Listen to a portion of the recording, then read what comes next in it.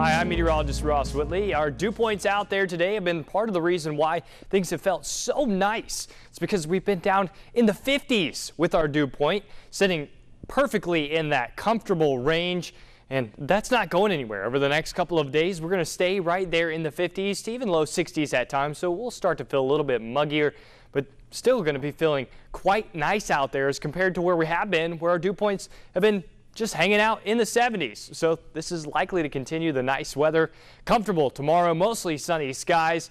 And looking forward as we go into Thursday and Friday, a gradual warming as we end the week going into the weekend ahead of another cold front as we work into Sunday and Monday of next week but still going to be feeling rather fall-like out there and still comfortable even with the warmer temperatures as we work into Thursday and Friday. Our high temperatures out there today ranging from 73 in Meridian, 74 here in Hattiesburg, Biloxi at 76, Baton Rouge at 78. So even right along the Gulf Coast, still feeling quite nice. It's all thanks to our lower dew points. For the day tomorrow, we'll start out, yes, around 49 degrees at 7 a.m. Cool and clear overnight tonight, and that is going to allow all that heat at the surface to radiate out.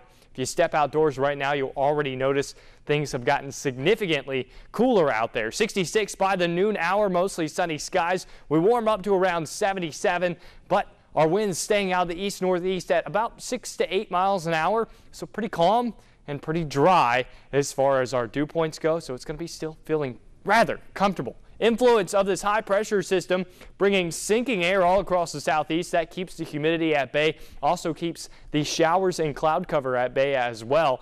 And that just leads to dry conditions. All the humidity and shower activity being suppressed to Florida with that onshore flow around that high pressure system, helping to enhance the shower activity down there.